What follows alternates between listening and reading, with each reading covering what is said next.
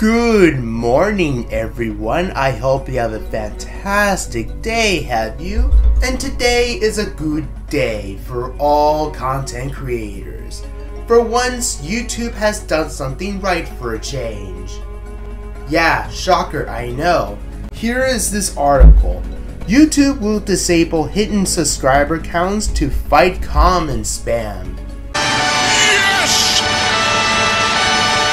And that's pretty ironic coming from me because I made a few videos criticizing YouTube for their questionable changes. I don't know, maybe this change of the disable hidden subscriber counts might be a good thing. Although I better keep my hopes up. Let's read the article, shall we?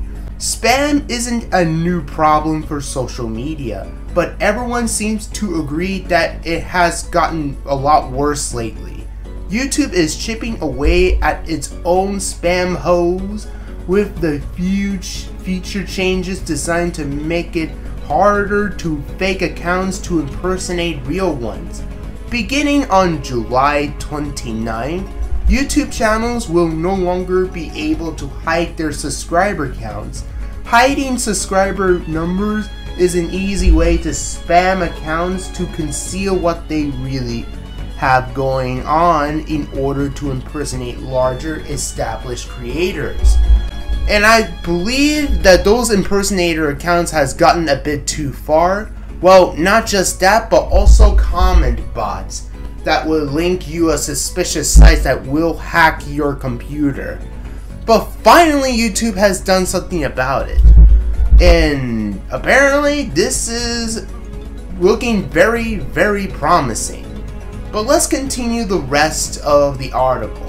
YouTube acknowledges that some creators prefer to hide their sub counts as they try to grow, but the company has deemed to potentially controversial measure necessary to reduce the practice of impersonators. The ch- changes is sure to upset some people since really YouTube is removing an option here rather than adding something, but the company is making a moves nonetheless. And apparently, let's just hope that they just kept their word.